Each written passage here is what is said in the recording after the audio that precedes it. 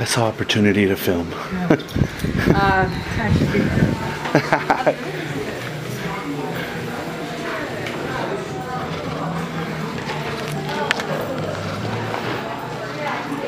on into my messy, messy place. Uh, Hi, my name is Cynthia Yadira Gonzalez. Um, my pronouns are they, them. I am a sculptor, a weirdo, uh, a crafter, an awkward human being. okay. I've spent most of my life here. I uh, technically was born in um, El Paso, Texas, and then I went to Juarez for a little bit, and then we came over here for like, I think I've been here for like 30 years, and I'm 37, so that's Ooh, all my life.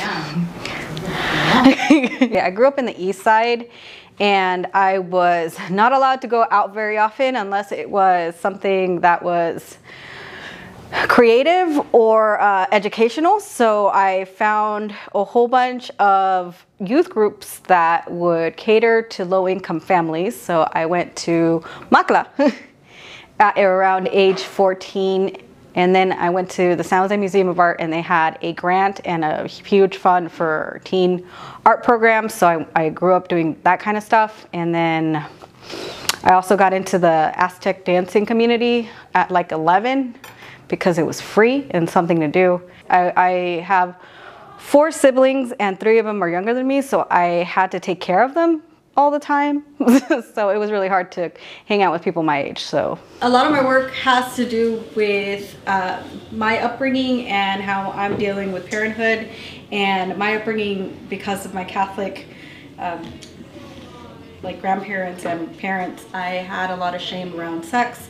So when I make work, there's always like a hidden uh, sexual undertone because not only is uh, sex shameful, it's also necessarily like necessary to procreate. so um, growing up with five siblings and being told that like sex is shameful, your body's shameful, but all these kids keep popping up and then all of like all your friends are getting pregnant. Like there's this definite like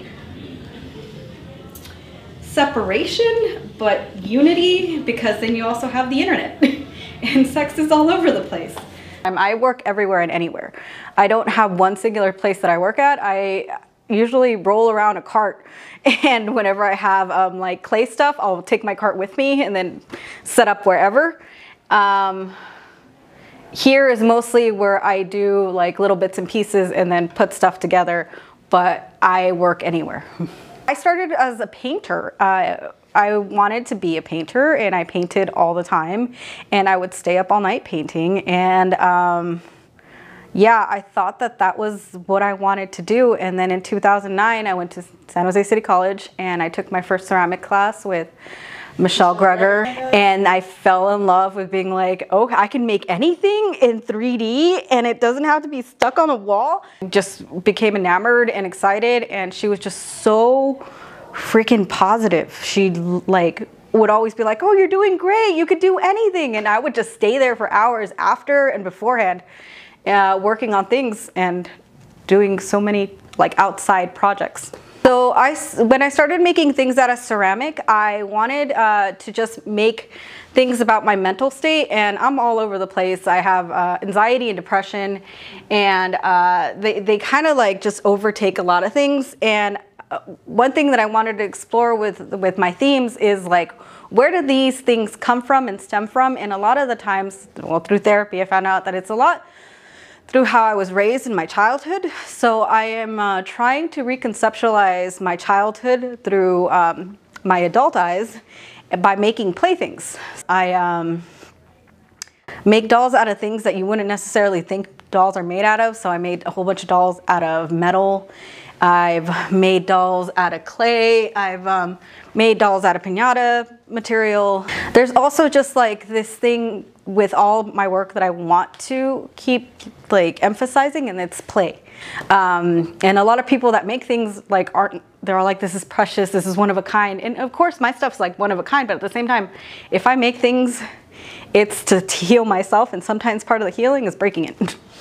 I want to get people involved in touching my artwork. So I've been making toys that people could play with. So it's not just about me. it's about like the ex- coming in and being able to touch it and noticing that these things aren't precious and these things are meant to be played with. Um, that's the biggest thing I want to do. So I do make videos and I post them like on my social media and I, um, I dress up like a clown and I, I do these things. I like destroy uh, pinatas and I destroy other things just I've destroyed like clay things that are breaking by themselves. So uh, it's definitely a thing that I, I think about often. I also make things that are like uncomfortable to wear. So like having them on somebody or myself, like it's, it's um, a performance of endurance sometimes. The semester is finishing, so I feel like I don't want to do any of my classwork. So I've been starting to make um, sculptures again. So this is one that I'm working on right now. Uh, uh, since I deal a lot with depression and mood swings, uh, it's definitely a um, visual depiction of how depression could take a hold of you and you know you have to put on this mask of like being happy and being someone when you're definitely just like struggling on the inside.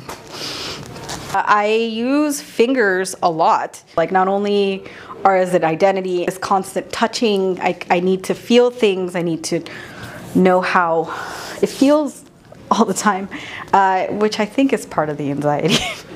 My art has uh, helped me embrace the ugly.